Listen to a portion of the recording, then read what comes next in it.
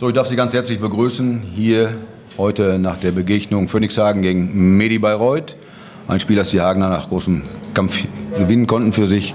Wir haben beide Trainer hier, Pedrak Krunic, Ingo Freier. Pedrak, bitte deine Analyse zum Spiel. Äh, Gratulation für Coach und zur Mannschaft für den, für den Sieg. Ja, das war ein, äh, ich denke, gutes gute Basketballspiel. Äh, es ist schade, dass wir mit diese, so viele Rebounds verloren dieses Spiel, weil es, äh, es Hagen ist äh, eine Mannschaft, das sehr stark in Offense Rebound. Wir haben kontrollieren relativ gut diese Rebound, aber nicht genug genutzt in, äh, in, äh, in auch Spiel, besonders im letzten letzte Viertel.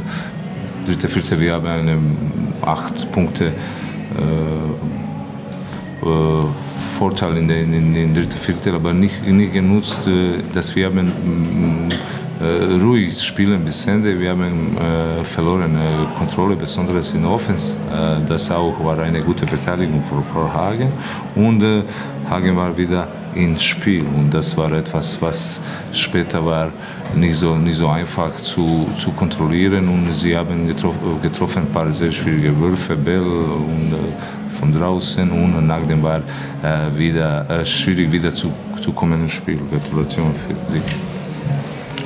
Ja, vielen Dank. Bedarf Ingo, ein optimaler Start in die Saison, ist das richtig?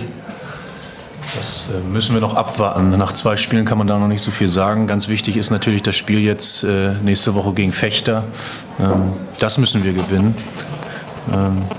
Nein, aber ich bin äh, mit dem Spiel zufrieden. Wir wussten, dass es ein sehr, sehr hartes Spiel wird. Ich fand auch, es war sehr, sehr hochklassig.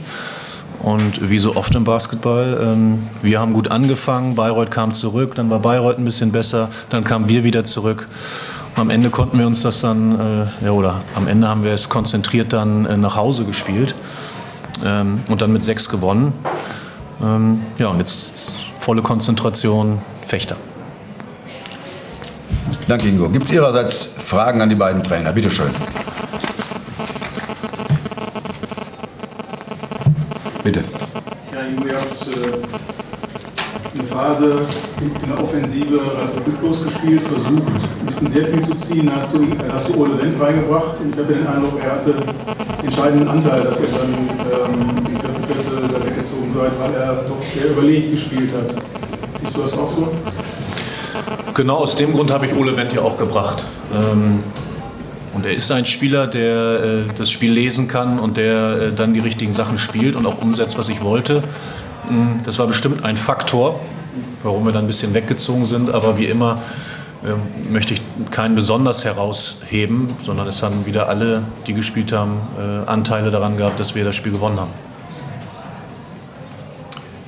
Gibt es weitere Fragen?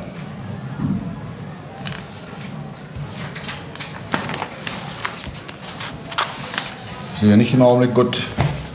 Dann darf ich Ihnen bereits hier an dieser, an dieser Stelle kurz, äh, in dieser kurzen Pressekonferenz danken und wir freuen uns aufs nächste Spiel, Ingo, nächste Woche gegen Fürchter. Euch ganz herzlichen Dank und gute Einfahrt. Danke.